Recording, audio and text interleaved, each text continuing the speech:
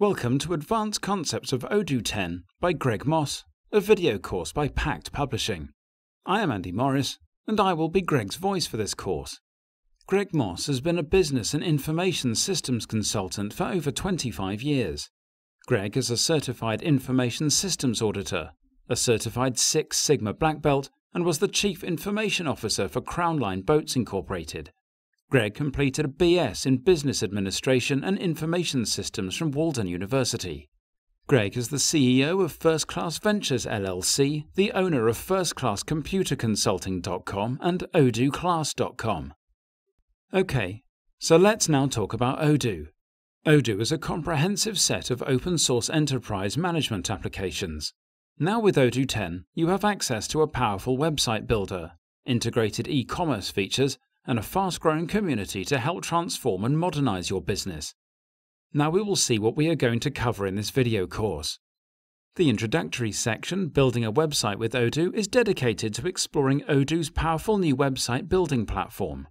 At the beginning of the section, we look at what a content management system is and some of the other popular website building platforms.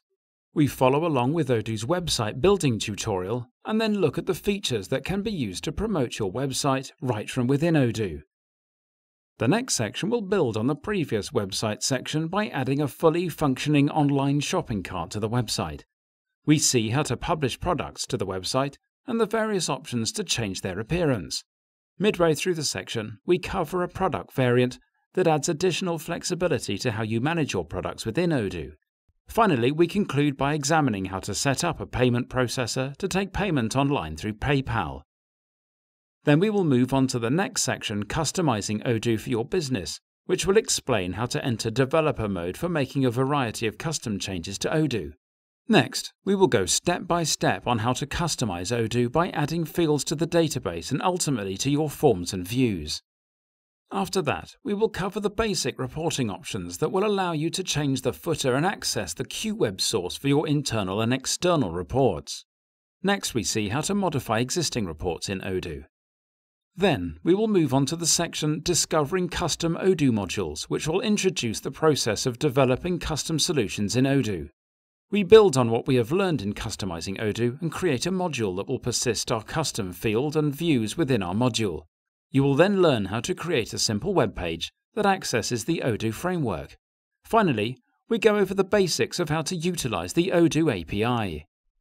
The final section will explain the primary differences between Odoo Community and Odoo Enterprise. Moving further, we take a look at the powerful dynamic accounting reports as well as the bank account integration. Next, we examine the sales application and studied how Odoo Enterprise offers VoIP integration as well as a subscriptions application. Finally, we will learn about Odoo's new manufacturing applications that are only available in the Enterprise Edition. So, what are we waiting for? Let's begin this journey together, and I hope you'll enjoy the ride.